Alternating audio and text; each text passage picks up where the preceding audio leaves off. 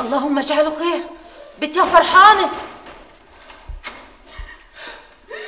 الحقيني يا بايا الحقيني يا شدتي. في يا بت اللي حصل.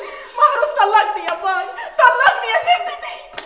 لا حول ولا قوة إلا بالله. بتخوت في عقله ده هياك وإيه اللي حصل يا بت وإزاي يعمل كده أدي بداية الحكاية. محدش عارف إيه اللي هيحصل بعد كده.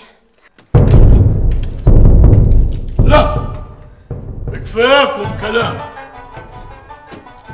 شيعوا أحمد ولدي. يا بوي ما أنت خابر جابر زين. مجنون ويده سابقة عقله. إحنا لازما نلم المشكل ما بيننا.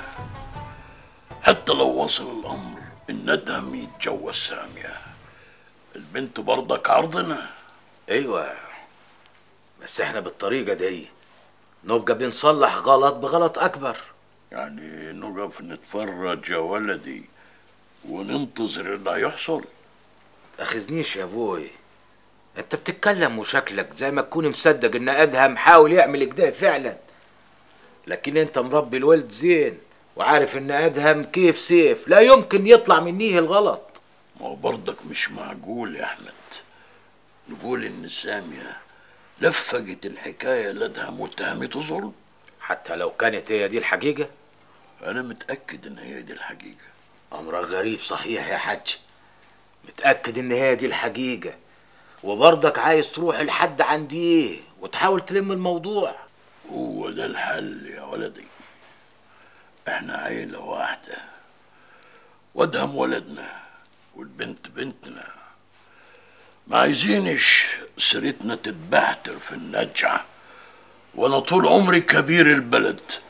ولازم أنا أفضل كبيرها لآخر يوم في عمري. ربنا يديلك طولة العمر يا كبير. خلاص يا أبوي خلاص. اللي أنت تشوفه صح نعمله. يبقى نروح لحد دار جابر ونتكلم وياه. طب وإذا جابر وافق على حكاية الجواز وادهم رفض يبقى إيه الحل ساعتها؟ لا لازم ندهم يسمع كلامي ويتجوزها. وحر بعد كده لو حب يطلقها. شي عن طاوة خبر جابر إن إحنا رايحين له بعد صلاة العشاء. أمرك يا أبوي.